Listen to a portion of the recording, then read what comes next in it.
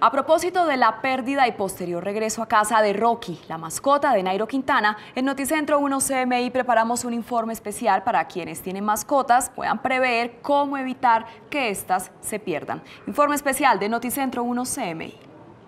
Les cuento que estoy un poco triste porque he vuelto a perder uno de mis perros.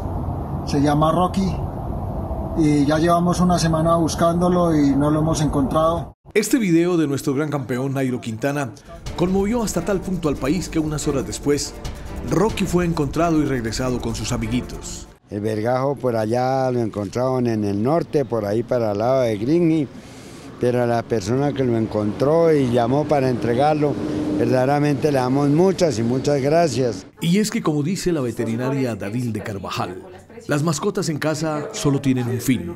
En esto es que nosotros entendamos que ellos solamente vienen a darnos amor. No es nada diferente a que uno entienda que los animales están hechos para darnos amor y cambiarnos la vida. Las mascotas se vuelven los nuevos familiares de la casa.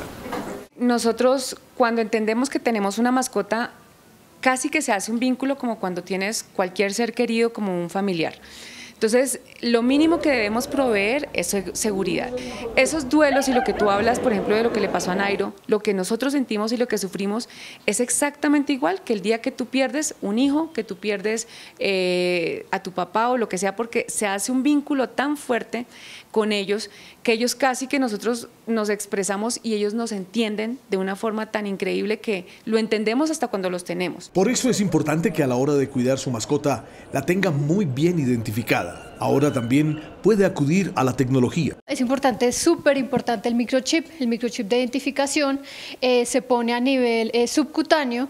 Realmente es una inyección que es indolora, en donde podemos leer, hay una lectura digital en donde podemos acceder a todos los datos eh, del animal como edad, nombre, raza, sexo, estado vacunal, estado de salud y lo más importante, la información del propietario.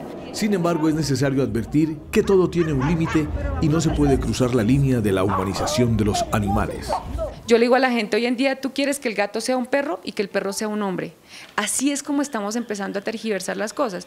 Y para mí, en lo personal, sí creo que todo debe tener un límite.